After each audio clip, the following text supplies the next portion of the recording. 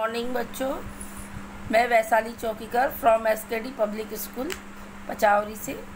आज हम मैथ में वन बनाना सीखेंगे। आज डेट है सिक्सटीन जुलाई टू थाउज़ेंड ट्वेंटी तो आज हम मैथ की नोटबुक में वन बनाना सीखेंगे।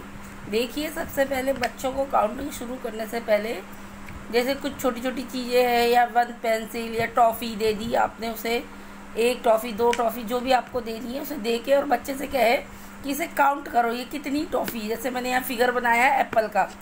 ये एप्पल का फिगर बनाया है और यह है वन एप्पल तो हमें वन सिखाना है तो मैंने यहाँ एक ही फिगर बनाया है।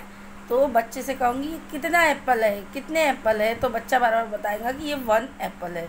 ऐसे ही आप बच्चों को जब भी काउंटिंग सिखाए तो कुछ चीज़ें दे दें बच्चों को और बच्चों से कहे कि बेटा इसे काउंट करो, कितनी है? वन टू थ्री जो भी है तो बच्चा उसे काउंट करेगा आप उसे बताते रहे। ओके चलिए आज हम वन बनाना लिखना सीखते हैं। आगे पह, इसके पहले जो वीडियो था उसमें मैंने स्टैंडिंग लाइन सिखाई थी।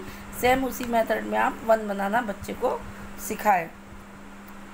जैसे मैंने यहाँ पे ये वन बना के रखे आप बच्चे को ये पॉइंट बना के दीजिए ऐसे। ये है ना ये पॉइंट ऐसे पॉइंट बना के दीजिए और बच्चे से कहिए कि इस पर पेंसिल ड्रॉ करे। जैसे ये ऊपर वाले पॉइंट पे रख के नीचे वाले पॉइंट तक लाना है। ये बन गया हमारा वन।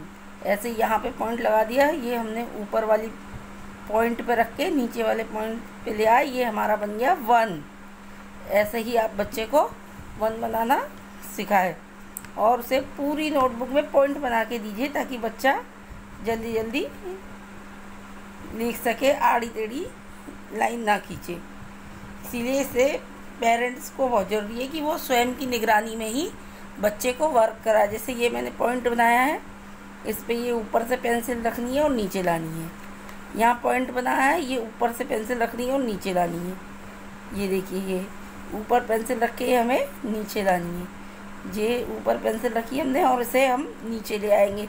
ये हमारा बन गया वन है ना? ऐसे ही हम हम सारा पेज फिल कर लेंगे। ये हमारा बन गया वन तो आप ऐसे बच्चे को पॉइंट बना के दीजिए और उसे लिखना, सिखाइए। मैंने कल भी कहा था और आज भी मैं कह रही हूँ कि बच्चे को कलर पेंसिल दीजिए ताकि बच्चा को कॉपी में जब कलरफुल कॉपी लगेगी नोटबुक लगेगी तो वो बहुत अच्छा फील करेगा।